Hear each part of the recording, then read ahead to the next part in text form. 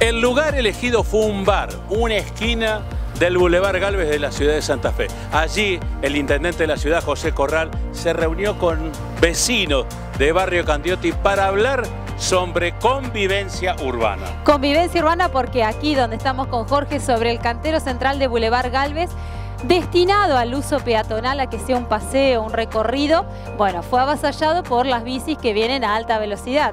Así que los peatones se quejan de las bicis, las bicis se quejan de que eh, la bicisenda no puede ser utilizada dos cuadras más al sur porque tiene autos, los autos se quejan que lo avasallan los colectivos, así que vamos a hablar de convivencia urbana, de respeto y de organización.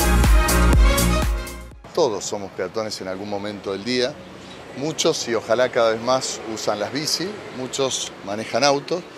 Y está el transporte público y finalmente los camiones.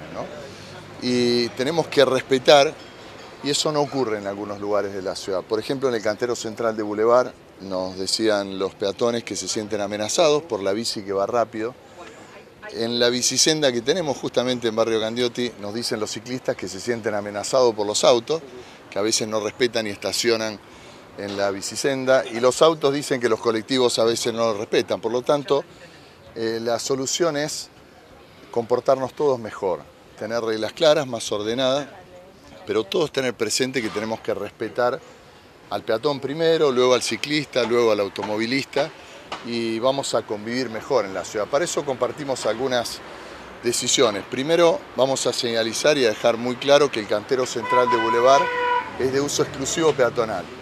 Así fue pensado, eh, es para que se disfrute caminando o haciendo actividad aeróbica, que hay cada vez más santafesinos que lo usan pero no para bici. Ustedes van a ver señalizaciones muy claras en el piso.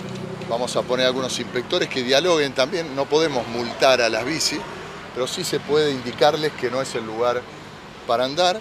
Y para ello vamos a mejorar la señalización y transformar en de doble circulación en las dos direcciones la bicisenda de Ituzangó. Eh, es usada, pero va a ser más usada si se puede ir en las dos direcciones.